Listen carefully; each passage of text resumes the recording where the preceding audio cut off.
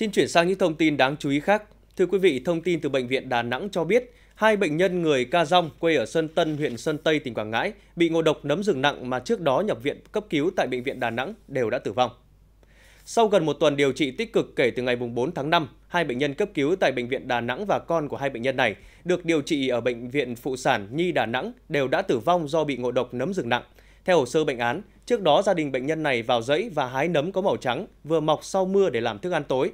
Khoảng 12 giờ sau ăn, gia đình ba người có biểu hiện đau bụng, nôn mửa ra máu, chóng mặt, đi ngoài.